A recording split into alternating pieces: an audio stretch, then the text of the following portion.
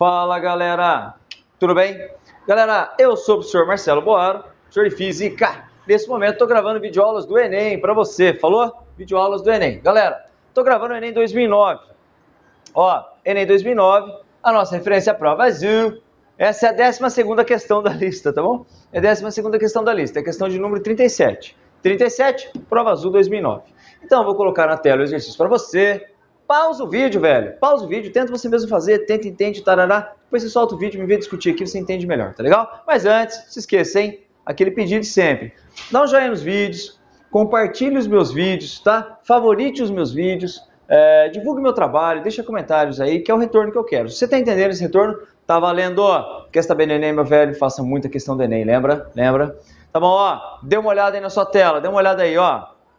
A questão diz assim: Sabe-se que o olho humano não consegue diferenciar componentes é, de cores e vê apenas uh, a cor resultante, diferentemente do ouvido, que consegue distinguir, por exemplo, dois instrumentos diferentes tocados simultaneamente. Hum, legal.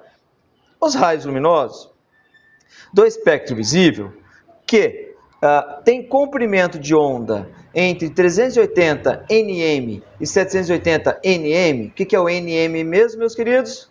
Isso, aluno atento, é o nanômetro. O n é 10 a menos 9 metros, lembra? nm, 10 a menos 9 metros. Incidem na córnea, passam pelo cristalino e são projetados na retina. Ponto. Na retina encontram-se dois tipos de fotorreceptores, os cones e os bastones, que convertem a cor e a intensidade da luz recebida em impulsos nervosos. Ponto. Os cones distinguem as cores primárias, vermelho, verde e azul. E os bastones diferenciam apenas níveis de intensidade, sem separar comprimento de onda. Ponto. Os impulsos nervosos produzidos são enviados ao cérebro por meio do nervo óptico para que se dê a percepção da imagem. Ponto. Um indivíduo que, por alguma deficiência, não consegue captar as informações transmitidas pelos cones, perceberá um objeto branco iluminado apenas por luz vermelha, como. Pananana. Peraí, peraí, peraí, como é que é? Lembra que eu sempre digo a você: leia mais de uma vez, se necessário, o que ele fala imediatamente antes das alternativas, que é a pergunta. Um indivíduo que, por alguma deficiência, não consegue captar informações transmitidas pelos cones, perceberá um objeto branco iluminado apenas com luz vermelha. Peraí, um objeto branco iluminado apenas por luz vermelha, em condições normais nós vemos vermelho, certo? Mas esse indivíduo, por alguma deficiência, não capta a informação vinda do cone. Opa, então o que esse cara vai ver? O que esse cara vai ver? Pera aí, ó. Volta aqui para a lousa que eu te explico, ó. Volta aqui. Galera, Vamos lembrar a estrutura do olho? Questãozinha de ótica do Enem. Vamos lembrar a estrutura do olho? Ótica da visão, tá bom? Você tem aqui, ó, nervo óptico, não é? Sistema córnea cristalino, sistema convergente, funciona como uma lente convergente. A luz que incide aqui vai convergir aqui para o fundo e que nós temos a retina, não é? Sistema córnea cristalino, lente convergente, nervo óptico manda informação para o cérebro, certo? Ok? E aqui você tem a, a retina, tá? Nessa região aqui, ó, por dentro a retina. Muito bem, galera, vamos dar um zoom aqui no pedacinho da retina? Vamos dar um zoom aqui na retina. Você vai encontrar essa estrutura aqui, meu querido, essa estrutura que são os receptores fotossensíveis, tá?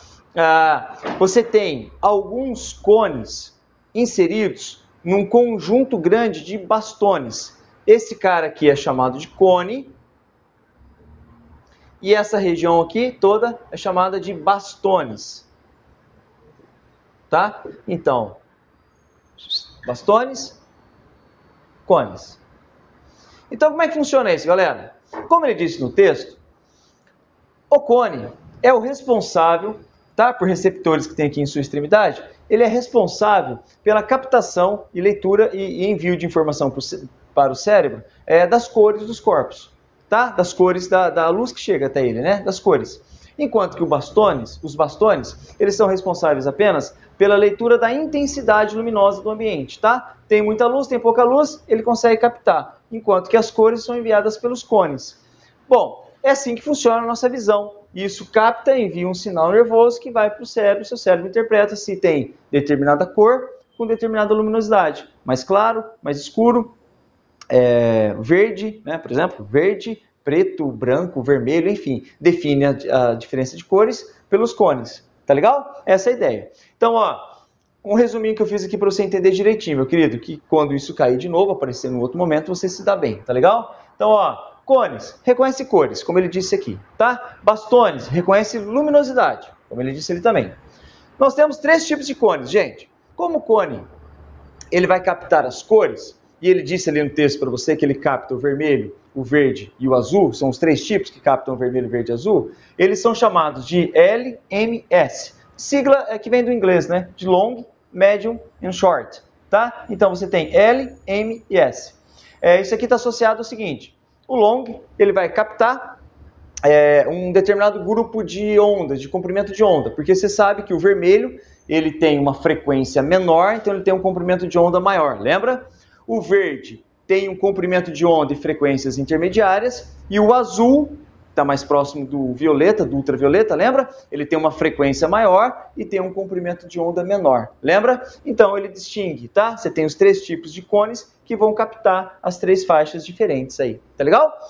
Ah, nós temos mais ou menos, o ser humano tem mais ou menos 6 milhões de cones, tá bom? Ah, nos olhos nossos, nossos olhos, 6 milhões de cones. Enquanto que os bastones são muito mais numerosos, tá? Muito mais numerosos e são muito mais sensíveis também. Os bastones, eles são cerca de 100 vezes mais sensíveis que os cones, tá bom? Então ele capta apenas tons de cinza. Os bastones são os responsáveis pela visão periférica. Sabe o que é visão periférica? Eu estou olhando aqui direto aqui na sala, tem uma janela ali. Estou olhando direto para a janela. Mas eu sei que meu computador está aqui, eu sei que a lousa está aqui, tem esse espaço. Estou focalizando lá, ó. Mas eu sei que tem essas coisas aqui. Por quê? Por causa da nossa visão periférica, não a visão direta, a visão periférica, tá? O principal responsável pela visão periférica são os bastões. E são muito mais numerosos, percebe? Ó, enquanto aqui nós temos em torno de 6 milhões, é, de bastões nós temos em torno de 100 milhões.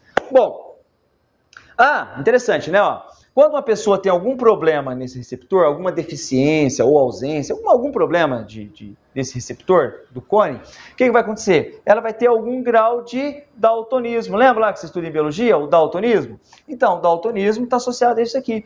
Alguma deficiência ou ausência nesses fotoreceptores desses. Uh, desses cones, entendeu? Então, você tem diferentes graus de, de daltonismo, diferentes níveis, diferentes tipos, porque depende de qual deles e de que intensidade eles estão afetados, entendeu? Por isso que você tem diferentes, uns para o vermelho, outros para o verde, outros para o azul, não é? Tá legal? Bom, então, meu querido, com essa discussão detalhada, você consegue responder o exercício. A resposta do exercício é a letra D. A resposta do exercício é a letra D. Eu vou ler aqui na tela do meu computador para você. Ele fala assim, ó. Vou ler de novo a pergunta, tá? O indivíduo que, por alguma deficiência, não consegue captar informações transmitidas pelos cones, vai ver uma camiseta branca, um objeto branco, iluminado com a luz vermelha, que normalmente nós veríamos é, vermelho, né? A luz vermelha bate no branco, a gente vê vermelho, a gente não tem problema de visão. Então, mas para ele, ele vai ver o que, galera? Resposta letra D um objeto cinza, cinza, pois os bastones captam luminosidade, porém não diferenciam cor, tá bom? Se o cara tem problema no cone, o bastone vai pegar apenas é, intensidade, luminosidade e não cor. Ele vai ver uma coisa cinza. Entendeu, meu querido, minha querida? Espero que vocês tenham gostado. Vocês perceberam já que eu gosto de fazer as aulas assim, né? Resolva o exercício, faça uma discussão, porque você entende a resolução desse cara e aprende muito para você fazer bem o seu Enem, velho. Porque eu tô preocupado é com o seu Enem. Quando você for fazer seu Enem, você está bem. Quer estar bem no Enem? Faça muita questão do Enem, tá bom? Meu querido, minha querida, como sempre, dois links. Um link para a prova de 2009, você clica, você cai lá. E um link para a ótica, tá? Cai aqui lá. Eu tenho as playlists no meu canal, lembra? Uma só para mecânica, terminologia, ótica ondulatória não é? é? e eletricidade. Quer saber como é mecânica no Enem? Entra no meu canal, clica lá, você vai ver uma playlist com dezenas e dezenas de exercícios mecânicos que caíram no Enem para você.